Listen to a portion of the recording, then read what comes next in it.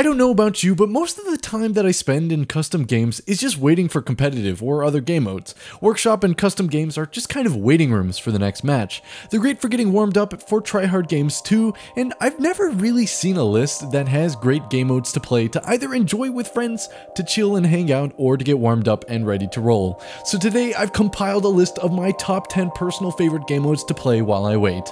My name is Nate, and welcome to Blizzard Guides.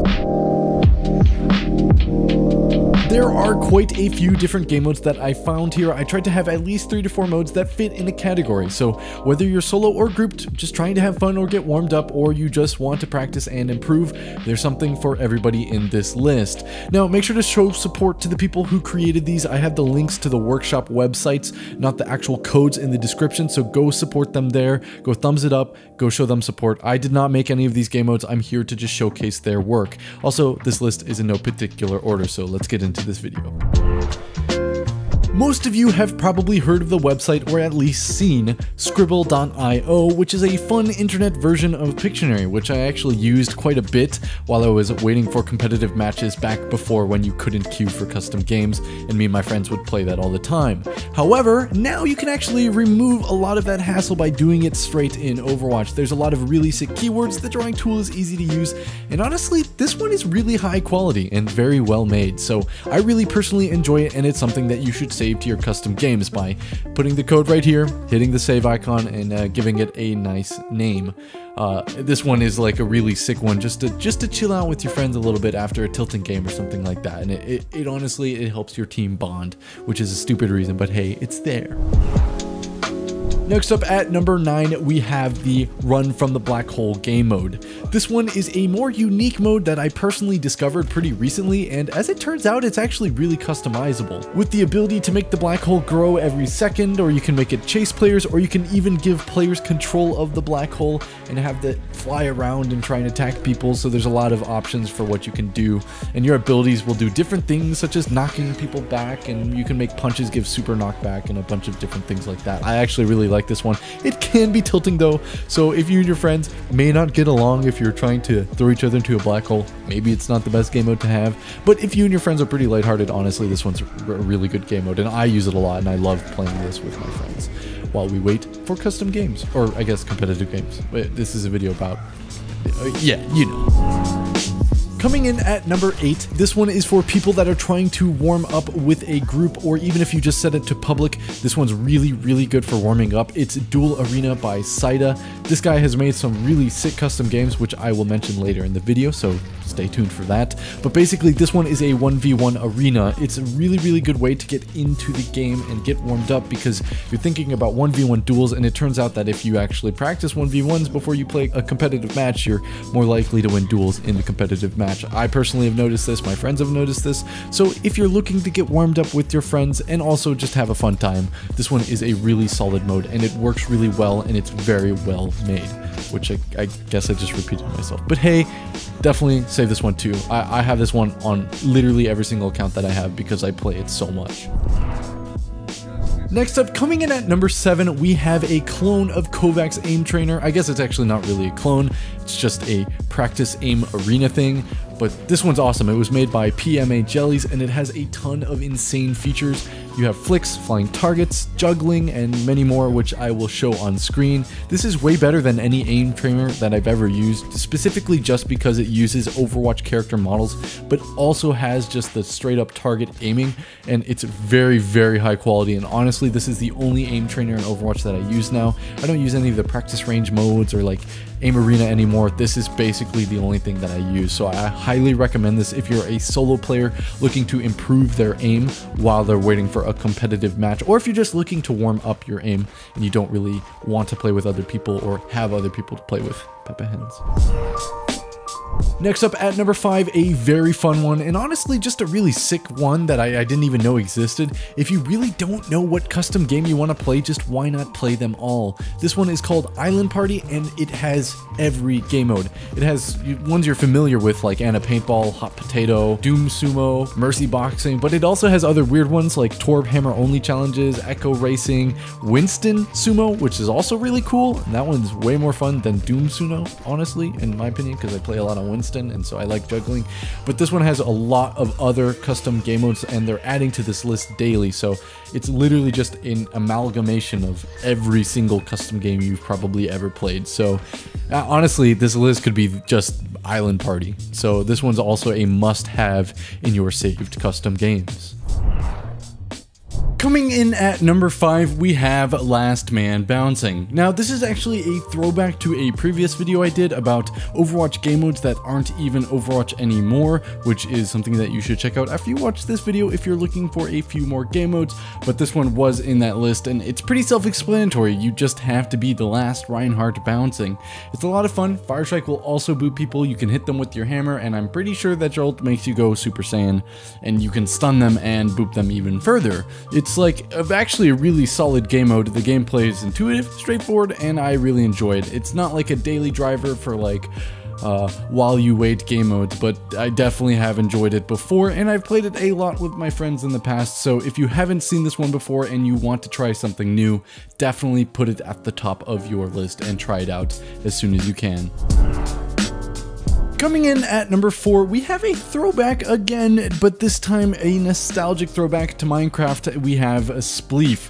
Now, if you don't play Minecraft, you might not know what that means. It sound it's like it's a really weird name, but basically the objective of Spleef is to break the floor to kill your opponents. Now, because this is Overwatch and we can't break blocks like we can in Minecraft, the objective is to turn the blue tiles into red tiles under your enemy's feet, but not under your feet because the red tiles deal damage. So basically break the blue tiles to kill them with the red tiles, but don't step on the red tiles because the red tiles will also kill you. I mean, like, it, it, makes sense. It's basically like a different rendition of Last Man Bouncing, except you're not bouncing in your brig, and it's a different game but it's also fun.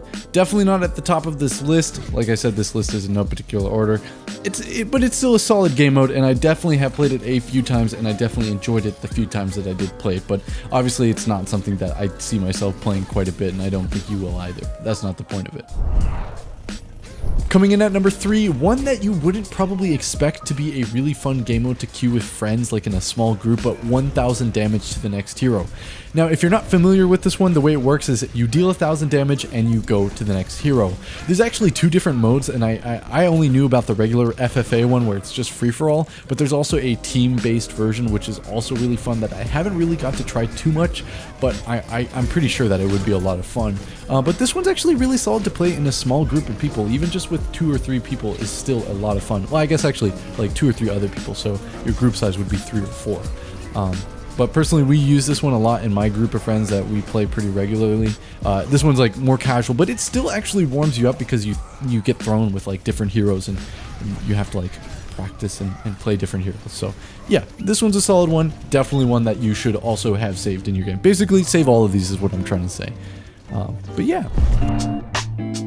Nearing the end of this list at number 2, we have Switcheroo Deathmatch FFA. Now, this one's actually one that's pretty slept on in my opinion. I've tried it a few times in like the custom game browser, and it, it was interesting, but I didn't really understand it. And the way that this one works is that it's a regular FFA deathmatch lobby, except every few seconds, you randomly teleport to somebody else's position and they swap with you, hence switcheroo deathmatch. Now the interesting mechanic about this is the fact that you actually may not always teleport, so it starts out like a regular FFA match until you figure out, hey, wait, if I jump off a cliff and then it teleports me somebody else will be jumping off the cliff, but then sometimes you accidentally suicide, and then it becomes a mental mind game of who can jump off the cliff without killing themselves while killing someone else. And so it actually ends up being a lot of fun. I, I played this with a group of friends for a little bit while we were queuing for competitive, and honestly, it was a blast. Now, I obviously wouldn't recommend playing this all the time because it kind of gets old. The gimmick only works so much, but hey, for a few games, we had a lot of fun, and we revisit it every once in a while. So honestly, this is one that you should put into your saved list just so you can have it if you get bored of the regular duel arena or 1000 damage or island party or whatever. Now, before we get to the last game mode in this list, I have a few honorable mentions. First off, this one's not really a game mode you can play while you wait, but it's so weird that I just wanted to put it somewhere in some video somehow, but it's this weird Widowmaker legs animation thing. It's just creepy. That's all I have to show you. That's it. It's just weird. But also, I want to bring up some work from Seita OW, who he's just like a, an insane custom game maker. He's made some puzzle maps where you have to like know really well hero mechanics to solve the puzzles. It's super difficult. I've played through both of them. I love them. You should definitely go check those out. And then he also has this really insane Rein 1v1 duel combat AI bot. I don't really know what he calls it, but basically it's this Reinhardt bot that you have to 1v1 who is really good. So any Rein players or tank players that are looking to get warmed up, please play this, try this, practice this. I'm telling you, you're to get better by playing this. Huge underrated game mode. And finally, the last game mode that I want to put in the honorable mention section is one from PMA Jellies called BAP Heal Trainer. Basically, if you're a Baptiste player or somebody who plays a lot of projectiles, it makes it way more difficult and you have to heal targets in the air. And this is really, really, really good practice. So if you're a BAP player or somebody that uses projectiles, I'm telling you, your aim will be crazy after using this. I've been doing this a lot, and even though I'm not playing BAP after using this while I'm queuing for a competitive match, playing Hanzo has been insane after this, so highly recommend this one. It's in the honorable mention section just because I feel like it's a little bit niche, and so it doesn't really apply to everybody, but honestly, this one's higher rated than most of the ones in this list. And finally, last but not least, at number one, we have Uno. Now, I know that I've shown this actually in the other video that I recommended earlier with the last man bouncing, but they've added a ton of features to Uno, and honestly, this is probably better than the Uno that you can buy in the Steam store. They have like new features with the jump in, plus three cards and plus one cards, I think, new animations. The controls are way easier to use. It looks cooler. And uh, honestly, like if you're looking for a really solid game to play while you're waiting for a long queue, Uno is the way to go. Uh, just try not to hate your friends too much. I, I honestly, I wouldn't recommend this one with randoms. Uh, obviously, just because people will join and leave, and you can't really do that very easily with Uno. But if you know you're gonna have a long queue time with a bunch of friends, definitely recommend playing Uno. But anyway, that's this entire list for today. I hope you guys found some that you will use and enjoy. Uh, like really, this list is just made from things that I use every single time that I queue. I have them all saved on basically all of my accounts and at least I have them bookmarked in Chrome. So you should do the same thing. Uh, I love the custom game browser and the workshop mode has been sick. So these are just some of the best ones that I, I feel like are underrated or that people don't really know about or that are just a lot of fun to play. Um, so yeah, that's basically the list. Uh, I kind of freelanced the script again. I, I, mentioned that in the last video. I kind of I'm moving away from writing full scripts and just kind of being me and talking about things. So if you don't like this new style, leave a comment down below. I want to hear what you guys think about this kind of like more laid back, more conversational feel to things because I feel like I don't want to be Watch Mojo. I want to be Nate talking to you guys and making you cool lists and teaching you cool things.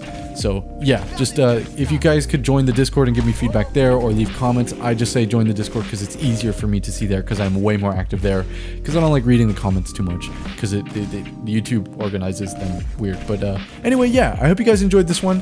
Uh, have a nice day. My name is Nate, and this was Blizzard Guides.